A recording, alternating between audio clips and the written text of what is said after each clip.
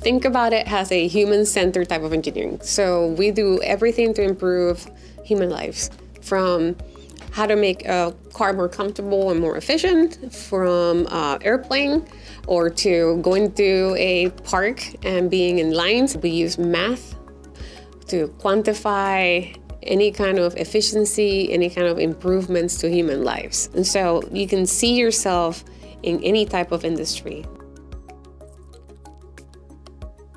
If you like to work in an interdisciplinary environment, choose industrial engineering. Industrial and systems engineering graduates uh, have a career in many different types of industries, from um, Amazon to NASA to John Deere. So think about as a interdisciplinary type of um, degree that you can improve the way that humans are able to be in the world.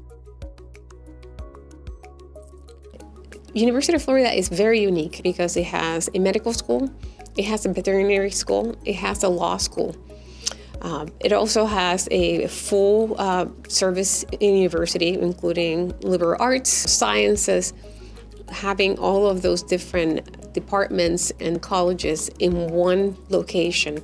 This is going to be the only place that you're going to be able to find that. We do have a really important technology corridor when it comes to um, space and aerospace applications. To NASA, uh, Pratt & Whitney, uh, Raytheon, uh, Lockheed Martin. It is a hub for space technology.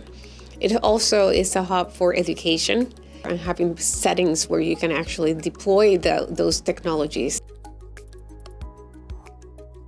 We have a lot of things going on in terms of research. Our strength for many, many years have been optimization and healthcare systems. Uh, we also do a lot of optimization of energy applications.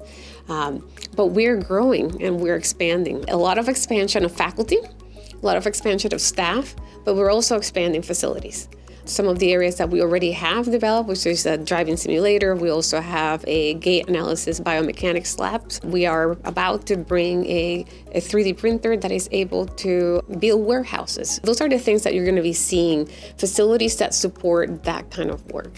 Industrial systems engineering at the University of Florida is a place for opportunities, It's the place to be innovators, It's the place to change and revolutionize the world. This is one of the reasons that I chose to be a Gator.